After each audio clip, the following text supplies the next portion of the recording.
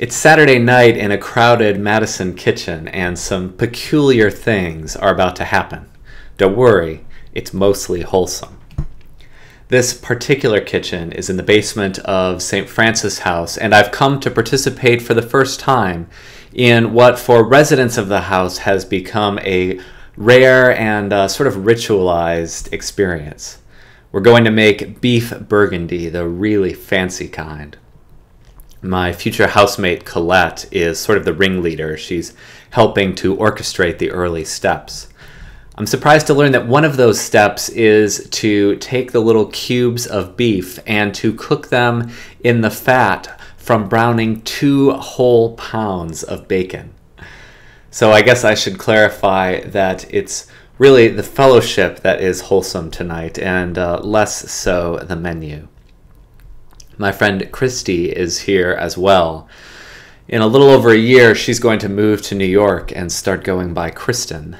And uh, that's relevant because a few years after that, Kristin and I will get married down the street at St. Andrew's. For tonight, Kristin is uh, queuing up the music from the movie Sister Act because it is essential to the experience that we have uh, impromptu sing along. I think she's also helping to apportion the wine, some of which goes in the stew to help thicken it up, and some of which we will share throughout the evening.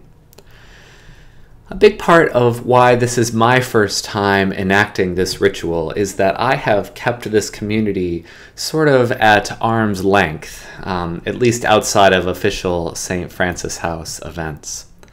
I am a nuclear engineering student and I'm not very good about taking my time with things. So consider this we are past the one hour mark and we have only just gotten all of the ingredients into a pot. So there is um, much left to do, and uh, it will take a great deal of patience, something I don't have a lot of at this point in my life. Before I bring the story in for a landing, I just I have to mention one other thing. We are fishing around for matches at this point because we are going to add brandy to the pot and then light the whole thing on fire. It's going to go off without a hitch, and I don't think it has anything to do with the metaphor I'm working on here, but you just can't tell this story and not mention the flaming brandy. Okay, to the metaphor. What this evening teaches me, and what this community has helped teach me, is that sometimes you have to go all in for something that doesn't really seem to matter.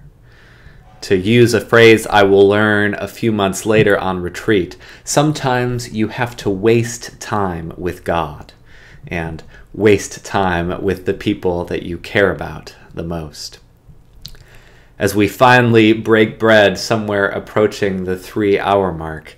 It occurs to me that there is no place I would rather be, and that there is no place that I should be except right here. This would be one of those rare occasions after a fun night out that I didn't think afterwards, oh geez, I should have been studying. So I realized that in this kitchen, every bit as much as upstairs in the chapel, I have um, put into practice something that we hear every week and that I don't always understand. Those words are this let us keep the feast. That's a lesson I am still learning here in 2015, but at least I've got a better idea of how to do it and with whom.